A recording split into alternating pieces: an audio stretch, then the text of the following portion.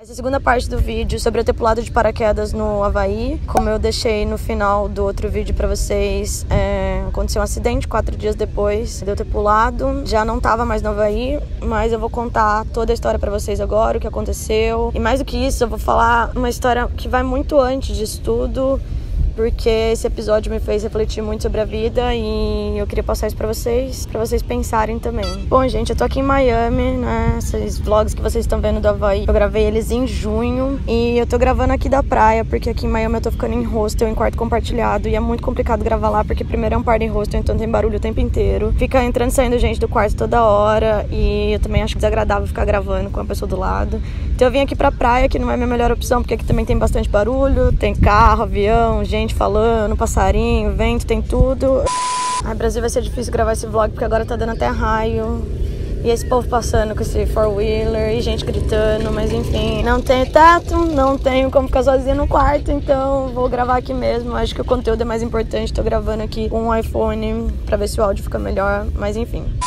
Aqui eu vou ficar falando sobre as coincidências da vida, coincidência ou não, o acaso, ou como tudo tá conectado. Eu falo para vocês que eu acredito que tem uma parada mística em volta da gente, mas eu não sei explicar. E quando eu parei para pensar sobre toda essa história que eu vou falar no vídeo para vocês, fiquei. Ah, eu não sei. Você começa a refletir umas paradas assim que é muito louco. Pega uma pipoca, senta, porque eu acho que esse vídeo vai ficar longo. Vamos lá, gente. Eu fui embora do Havaí, voltei para Baltimore, aí fiz outras viagens e cheguei aqui em Miami. Mas quando eu fui pro Havaí, eu ia viajar com a minha família pro Havaí, aí aconteceu um monte de coisa e eu acabei que eu fui sozinha. Numa época antes do que eles. Eu acho que eu ter chegado na Havaí já foi uma coisa muito louca. Eu ia agora, no final de julho, com a minha família, aí eu resolvi terminar o programa antes. Eu acho que o universo me levou para lá antes. Quando eu fui para lá, eu fiquei na casa de uma amiga. Era para ficar num hostel, só que aí deu um problema com a reserva do hostel lá. E eu falei com a minha amiga e ela me falou para eu ficar na casa dela. E era isso. Como eu conheci a Bruna, gente? Ela também era au pair em Anápolis, que era perto de Baltimore. A gente viveu essa vida au pair juntas, assim. Mas eu já conhecia ela desde 2011, se eu não me engano. Acho que foi 2011 que eu conheci ela em São Paulo e a gente se conheceu da maneira mais aleatória possível. Toda terça e quinta a gente ia na mesma balada em São Paulo, que era Royal, que ficava na Consolação, e eu morava perto do Mackenzie e ela morava ali perto da FAP. E a gente sempre ia na mesma balada, sempre se encontrava lá. E aí uma vez eu peguei e falei pra ela, menina, toda vez que eu venho aqui você tá aqui. Ela e você também. Eu falei, é, realmente. E assim a gente virou amiga. Foi indo nos mesmos lugares quase todas as vezes. Ela sempre gostou de balada, eu também. Então a gente virou amiga meio que desse jeito. Quando eu me formei, eu fui trabalhar, comecei a namorar tal, perdi contato com ela, mas eu ainda tinha ela no Facebook. Aí vivi minha vida tal, a gente ficou uns anos sem se falar, mas eu acompanhava a vida dela pelo Facebook, né? Eu vi que ela tava como au pair e um ano depois eu decidi que eu queria vir pro programa de au pair. Também surgiu essa família de Baltimore no meu perfil que foi a família que eu fui, eu fui falar com ela. E ela foi basicamente a razão de eu ter ido pra Baltimore. Porque eu falei, amiga, como é aí essa família tal? Ela falou, meu, vem pra cá, é muito legal, amo essa região, a gente vai morar perto, o schedule tá bom, vem pra cá. E eu fechei com eles meio que na onda dela. Porra, ela falou que a região é legal, gostei do schedule, fui. Cheguei pra lá, mandei mensagem pra ela de cara. Fazia uns anos que a gente não se via, mas tudo a mesma coisa. Fomos pra balada, ela me apresentou gente, a gente foi dar rolê e tal. Ela já tava no segundo ano dela, eu tava no meu primeiro. Quando a gente foi no St. Patrick's Day em DC, tem um vídeo no canal falando isso, a gente saiu assim e também, de outra maneira aleatória, ela conheceu o namorado dela, que é militar nos Estados Unidos. Tem um vídeo aí, vou deixar linkado para vocês aí. Foi muito X, assim, o jeito que ela conheceu ele. E quando acabou o programa de au pair dela, ele tava mudando pra Havaí, ele convidou ela para morar com ele. E ela foi. Então, vamos lá, aconteceu tudo isso. Paralelo a isso, eu já não tava mais feliz com o pair, tá? Meu sonho era ir pra Havaí, comprei a passagem, falei pra ela, tô indo, deu problema com o rosto, ela falou, fica em casa. Antes de eu ir pra Havaí, eu tinha comentado com o Daniel, que é o menino que eu pego aí, que tá aqui em Miami e tudo. Eu tinha falado pra ele que eu tinha muita vontade de pular de paraquedas e ele ficou me zoando, falando que eu não ia ter coragem nunca, porque eu era medrosa, etc. Beleza. E aí, gente, eu cheguei lá e todo mundo que eu conheci, inclusive a Bruna, o namorado dela, as pessoas lá, tinham pulado de paraquedas lá e falaram que era o melhor lugar do mundo para pular, porque era a paisagem mais bonita. E todo mundo que eu conversava falava: Não, você tem que pular, você tem que pular, é muito bom, é maravilhoso. E eu falei pra Bruna: Mano, me conta a experiência, me mostra seu vídeo, eu tenho muita vontade de fazer, eu vou fazer enquanto eu estiver aqui. É uma coisa que eu quero fazer, eu vou fazer. Ela foi me mostrar o vídeo e me contou que o Luke, que era o namorado dela, tinha feito uma surpresa de um ano de namoro para eles, que ele marcou tudo, reservou tudo, levou ela até lá sem ela saber e que ela pulou. Ela me falou que morreu de medo, que ele também tava morrendo de medo, que ele tava branco, que ele não falava nada. E ela me falou exatamente essa frase Camila, o avião é um negócio velho, eu achei que aquela merda ia cair, porque o negócio vai tremendo, vai um monte de gente lá, eu não tive medo nem do salto, eu tive medo do avião.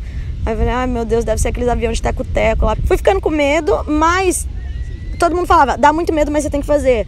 É uma coisa que você tem que fazer. E isso foi me dando um incentivo. Eu falei, porra, todo mundo que eu conversei aqui pulou, eu quero pular, né? Uma parada que eu já queria, mais um incentivo das pessoas. Beleza, isso aí aconteceu. Quando ela me disse que a empresa dela era ruim, ela me falou, tem mais duas, é uma do lado da outra. São três empresas, primeira, segunda, terceira. A primeira é mais tradicional, mas achei o avião muito ruim. Tem a segunda e tem a terceira. Dá uma pesquisada aí. Como eu tinha 20 dias lá, eu falei, ah, eu vou fazer na minha última semana, porque se der ruim, vai dar ruim na última semana. Eu aproveito o Havaí inteiro e faço na última semana. E esse era o meu plano. Fui pra mal e voltei. E aí, assim que eu voltei, eu voltei num domingo, na segunda eu já tava lá pra pular. Daí vai vendo a história, gente. Eu tô tentando contar a história pra vocês pra tentar mostrar o quanto essas coisas aleatórias não são tão aleatórias assim. Sei lá, tudo tem um motivo.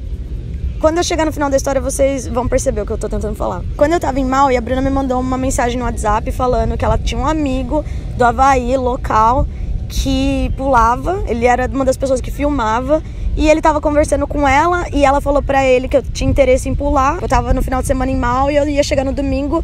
E ela falou: Amiga, ele falou para você ir na segunda-feira lá pular. É muito boa essa empresa. Ele falou que os aviões são super novos, não são ruins.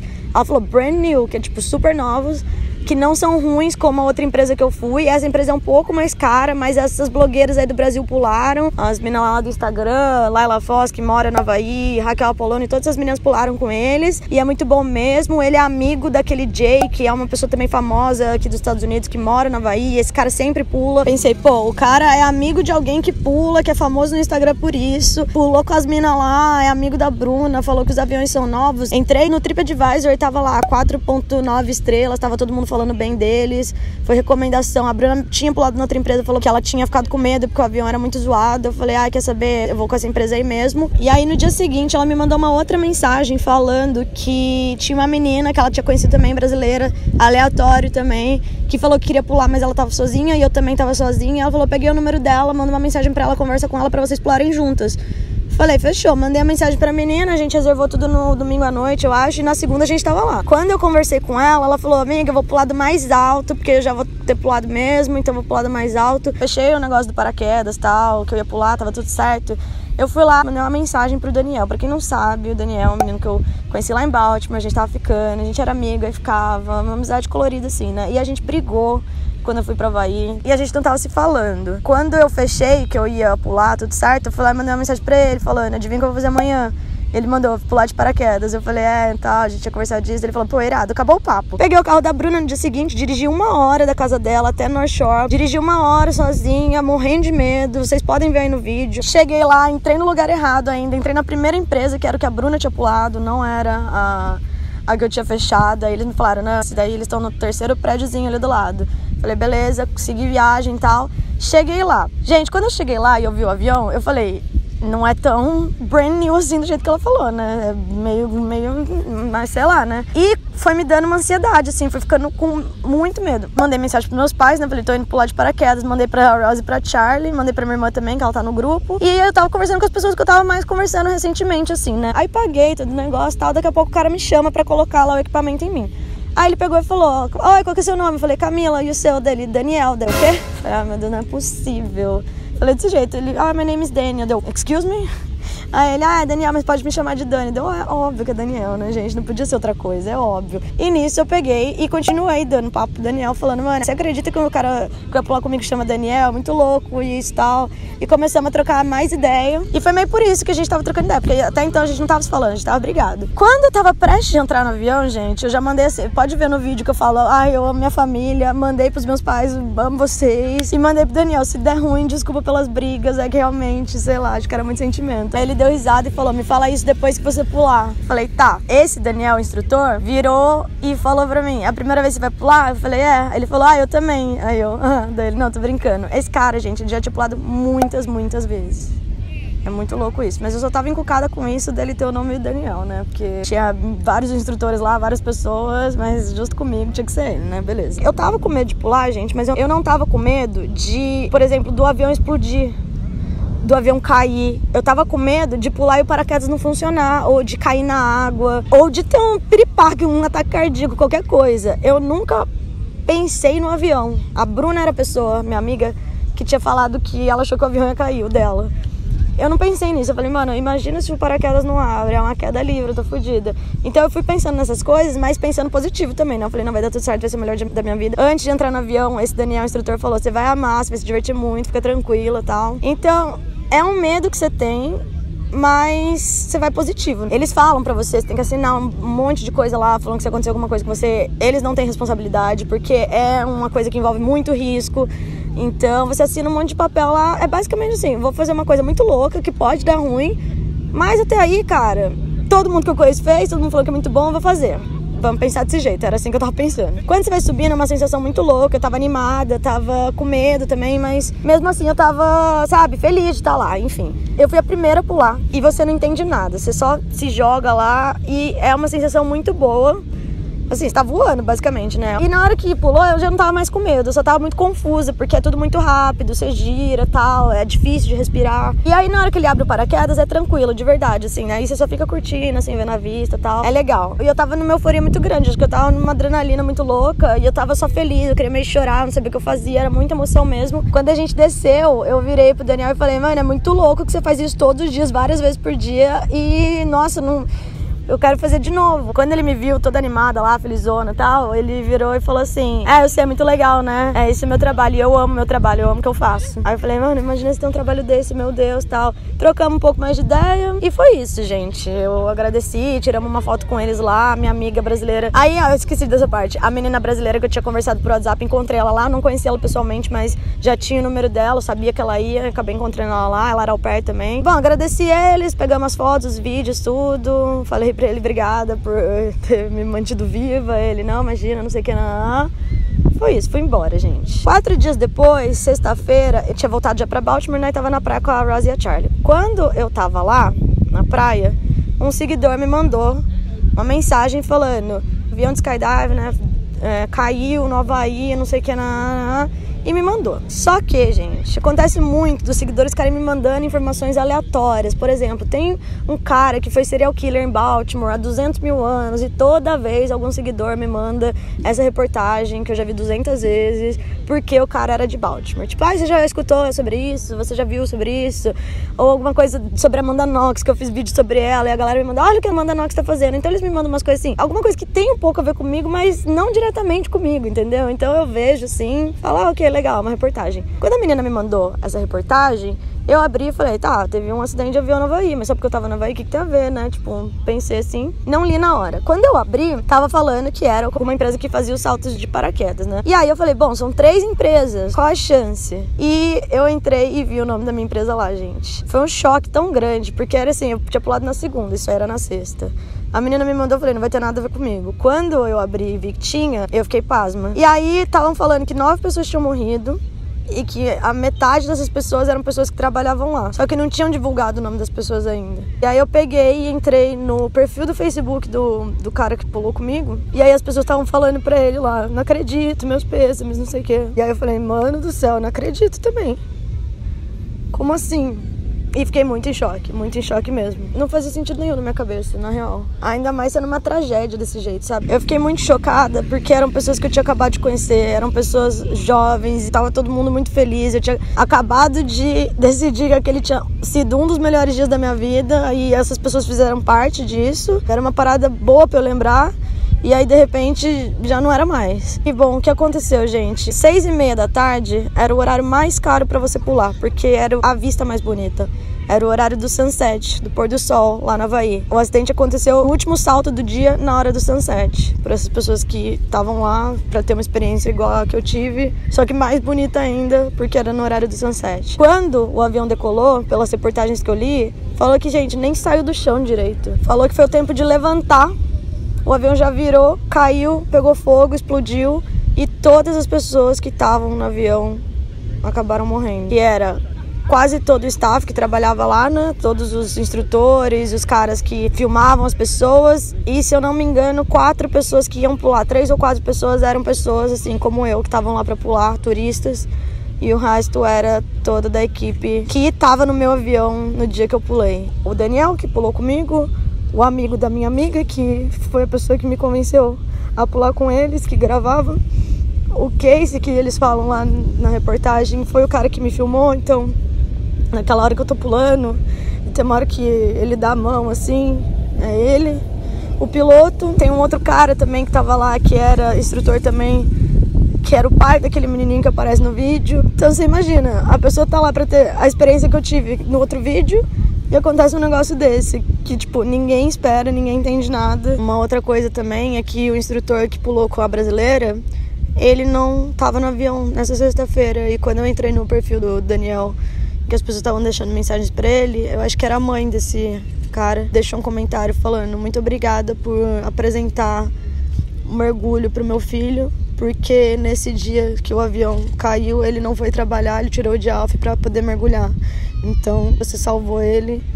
E foi um comentário muito triste, porque acho que os dois eram melhores amigos ou alguma coisa assim. Mas esse cara acho que foi um dos poucos assim que trabalhavam lá que sobreviveu porque ele tava no dia off. Ah, eu não sei nem o que pensar, sério. Eu não fiquei nessa pensando, nossa, podia ter sido eu, podia ter sido na segunda-feira, podia isso, podia aquilo. O meu choque maior foi de ter conhecido as pessoas e do nada acabar tudo desse jeito, entendeu? Foi esse meu choque. Quando eu fui pesquisar, aí eu fiquei acompanhando, né? Quando as famílias falam que eles morreram fazendo o que eles amavam, isso aí é verdade, porque foi isso que o meu instrutor me falou. Quando eu falei que o trabalho dele era sensacional, que tinha sido uma experiência incrível, enfim, falou: Yes, I know, I love my job. Foi exatamente isso que ele me falou. Então, Bom, ele se foi fazendo uma coisa que ele amava, pelo menos. Sobre a reportagem do que aconteceu no acidente, bom, basicamente falaram que foi um problema técnico do avião e não sabem sobre manutenção, não sabem nada. Já faz mais de um mês esse acidente aí.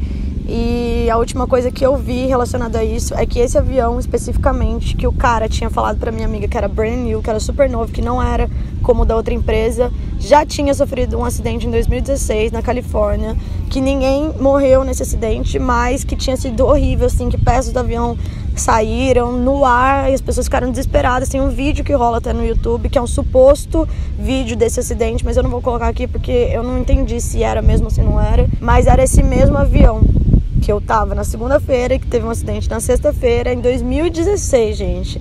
Já tinha tido um acidente com ele. Então tem muita gente que fala que esse acidente, na verdade, foi um acidente anunciado, né? Porque era questão de tempo de dar algum problema se a manutenção não fosse feita corretamente. E sinceramente, eu não sei se a manutenção estava sendo feita corretamente, porque assim, você vê lá, o lugar é bem simples, a infraestrutura é bem simples.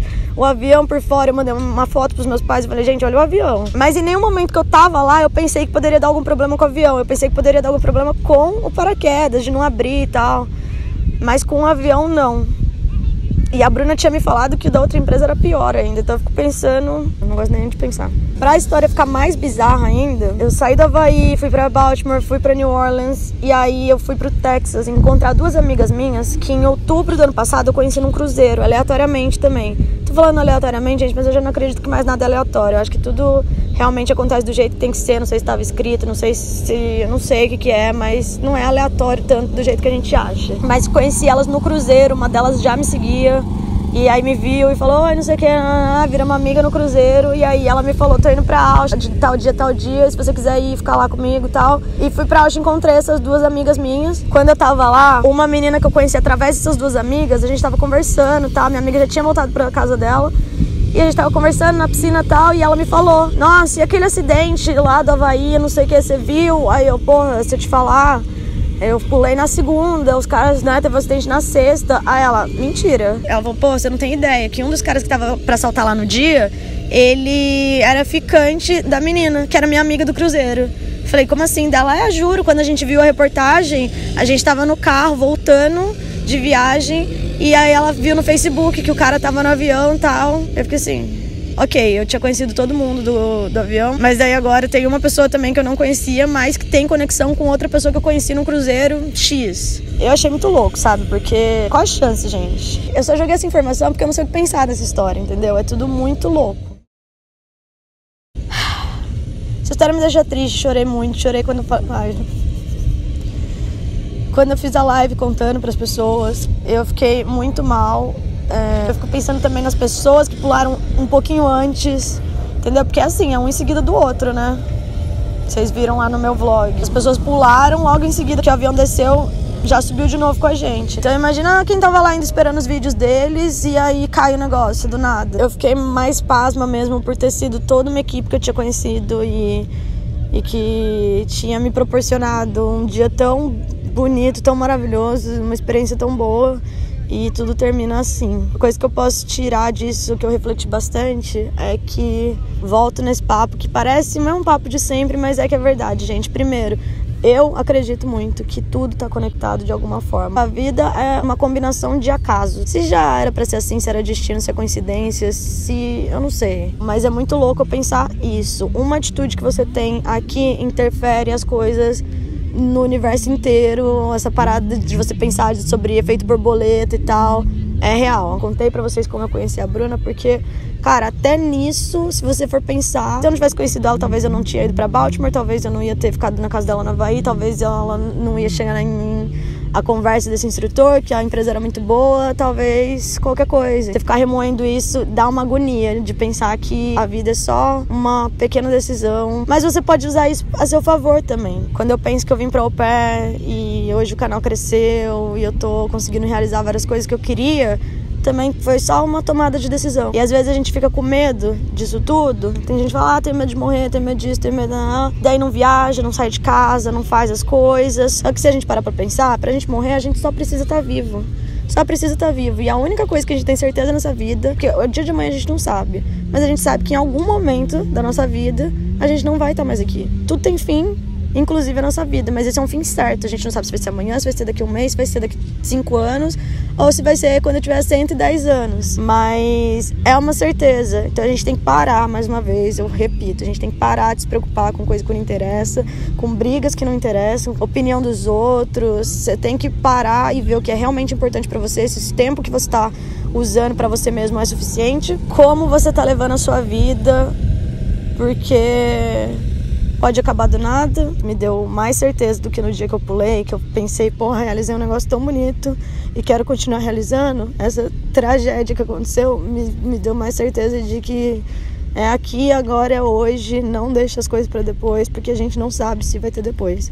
Então, se eu puder deixar uma mensagem para vocês, pode ser clichê, mas as pessoas não praticam. Quando a gente tá na rotina, a gente esquece dessas coisas. Quando você tem um chefe enchendo no saco, sei lá, você tá há muito tempo com alguém, tá de saco cheio, a gente esquece. Quando você tá viajando, eu acho que essas conexões, essas coisas que eu chamo de, sei lá, de universo, acaso, sinais, qualquer coisa, ficam mais evidentes. Inclusive essa parada do cara chamar Daniel, tipo, se ele não chamasse Daniel, eu não ia ficar de papinho com o Daniel de novo e agora eu tô aqui na Flórida. Talvez eu não tivesse vindo pra cá.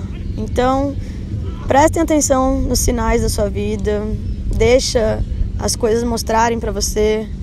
E se seu coração tá te falando alguma coisa, segue, não fica adiando, não deixa para depois. E é isso, espero que vocês tenham gostado do vídeo. É... Eu vou levar essa história comigo para sempre, sempre vou lembrar dessas pessoas. Eu espero que eles estejam num lugar melhor. E é isso, gente.